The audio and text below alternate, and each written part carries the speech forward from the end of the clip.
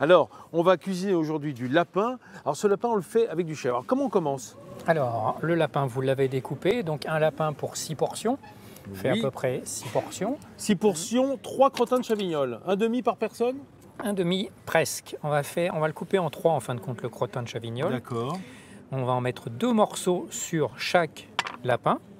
Et le dernier va nous servir à lier la sauce. Est-ce que ça veut dire qu'on va gratiner dans une certaine mesure Il ou- va gratiner au four, tout à Ah, fait, oui. attention, on a parlé de crépinette de lapin, d'où la crépine. D'où la crépine, tout à fait. Alors la crépine, c'est cette membrane qui se trouve à l'intérieur euh, de notre cage thoracique, on va Oui. dire. hein. C'est très léger, ça donne pas de goût et ça permet d'enrober. Tout à fait. Et ça évite De le, tenir. le dessèchement, ça tient tout l'ensemble. C'est légèrement gras, mais ça va disparaître. De toute façon, ça va fondre entièrement à la ça, cuisson c'est ça. et va, va nous permettre de, de servir, enfin, de façon euh, à garder le crottin de chavignol ici, À le tenir, quoi. à le hein. tenir. Voilà. Donc je l'enroule dedans, Ça permet de faire une sorte de paupiette, quoi. tout à fait. Tout ce qu'on veut. Donc, crépinette. dedans. De crépine, tout à fait. Donc ça va, on va le mettre donc dans le plat de cuisson. La, la cuisse, hein. La cuisse, donc là on a fait. Là on va faire le rable. Donc le rable, il est un peu plus grand. hein. On en a fait deux portions dans le rable. Donc je refais la même chose. Regardez cette, euh, cette façon d'enrober. Combien de temps ça va être- cuit au four, ça? Alors c'est 40 minutes, 160 degrés.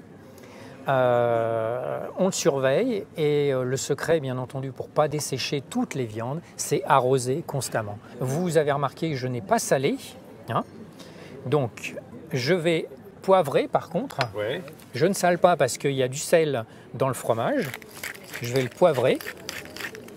Je vais mettre une petite goutte d'huile d'olive parce Ah, que bah voilà, j'aime. là en Grèce. Oui, parce que c'est le fromage de chèvre, et c'est peut-être moins gras quand même que le fromage de vache. hein. Alors c'est juste pour démarrer en fin de compte la cuisson. D'accord, et puis C'est pour juste au démarrage, puisque après la graisse va fondre, on aura de la graisse qu'on va donc napper, on va pouvoir napper, arroser, arroser. arroser, c'est le secret, c'est l'unique secret. Alors la mandoline, on va faire donc les tagliatelles de légumes, carottes, euh, panais. On a ici le rutabaga et le navet jaune, quoi. Donc on va faire les tagliatelles avec. Donc on est, attention aux doigts, on est vraiment sur des raves là. hein. Le rave, oui. Ça, Le ça va être cuit euh, à l'anglaise, à l'anglaise. au bouillon de salé, donc euh, pas trop fort hein, pour pas que ça se délite. Donc des petites tagliatelles, hein, ça va cuire rapidement. Donc en fait, on fait des- une, une grosse julienne, hein, des, des- des lanières. Voilà, des lanières, une grosse julienne, voilà, tout à fait. En forme de tagliatelle. Chef, vous avez remarqué euh, que ni Patricia ni Benoît ne commentent. Ça, c'est le signe en général qu'ils ne sont pas super à l'aise avec la recette. hein. Euh, c'est parce que peut-être on a moins l'habitude de les, de les manipuler, mais c'est vrai qu'il y a une redécouverte qui est formidable hein, sur Oui. ces légumes Puis anciens. en quoi. plus, le, le navet, on est habitué à ces, ces gros navets de pot au Oui. feu qui étaient souvent filandreux. euh, alors que le, le navet nouveau, par exemple, c'est une- c'est un, un légume absolument merveilleux. hein, si on le fait un petit peu glacé, un Vous peu allez voir, et vous allez voir le goût que c'est. hein, c'est Ah bah, je suis sûr. C'est très Voilà. très bon. On égoutte tout de suite dès qu'on a donné un, Alors deux minutes de cuisson. un, hein, long bou- trois un fois bouillon rien. de deux minutes et Trois fois rien, puisque c'est tout petit, donc ça cuit très peu. Contrairement si on avait mis des gros morceaux comme pour la soupe, le pot au où il faut très longtemps. On a sorti le lapin du four. Le lapin est cuit, 40 minutes donc au four.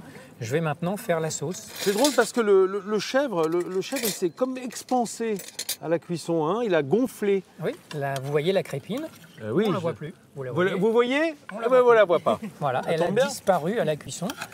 Et va... qu'est-ce qui reste dans le fond? Parce qu'il n'y a pas de gras de lapin, c'est vraiment notre matière grasse que l'on a mis, un peu de ce reste de, de crépine de porc, donc Voilà, un peu tout de. à fait. Mais le fromage et le jus aussi des lapins, donc les sucs. Alors là, les sucs, maintenant, on va les pincer. Déglacé. Ah, d'abord on pince. Pincer. Attention, pincer. Non, je sais pas. c'est- toute l'eau va se retirer et les sucres vont s'agglomérer et euh, la réaction de Maillard va les faire dorer. C'est ça, pincer. Coller. Coller à la- au plat. au plat, voilà. On va les récupérer, justement, les sucs. C'est ce qui va nous donner le goût de la sauce. Donc, tous les sucres qui ont les arômes vont pincer, vont s'accrocher au fond de la casserole.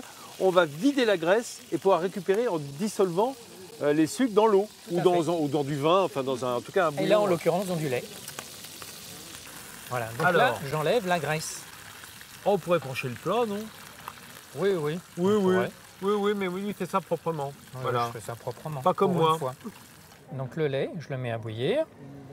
C'est marrant de faire ça avec du lait. Parce qu'en fait, euh, c'est comme si on remettait du lait dans le fromage. Quoi. On, le- on lui redonne une jeunesse, Tout à fait. en quelque sorte. Ah voilà. Formidable. Et là, on a évidemment dissous du chèvre à nouveau. hein. Ch- Chèvre à l'intérieur, oui, que j'ai rajouté justement pour épaissir légèrement Voilà. la sauce, On pour lit. ne pas avoir besoin de liaison donc euh, à la farine ou autre, quoi. Et là, on va pas mettre un petit coup de mixeur plongeant Alors, dans la casserole? justement, si. Alors ça, c'est l'outil utile dans toute cuisine. hein. Je- là aussi, je préconise. hein. Le petit mixeur plongeant. Voilà. Merci, chef. Là, la sauce est faite. Elle est bien, bien lisse? Bien à pente, oui. D'accord, donc on va dresser les assiettes. Voilà, on va dresser.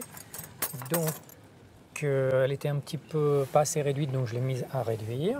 Toujours la même façon, hein, petite ébullition, donc tout l'eau se retire. Évidemment, moins il y a d'eau, plus ça se concentre. Donc toujours tout doucement hein, les réductions. hein. Il y a- Ah oui, oui. C'est pas la peine de mettre à fond, ça sert à rien, ça risquerait de donner un petit goût euh, Ouais, ça pourrait accrocher dans le fond. de toute façon, euh, que ça bout euh, à fond ou au ralenti, ça ça- s'évapore. ça bout toujours et ça s'évapore.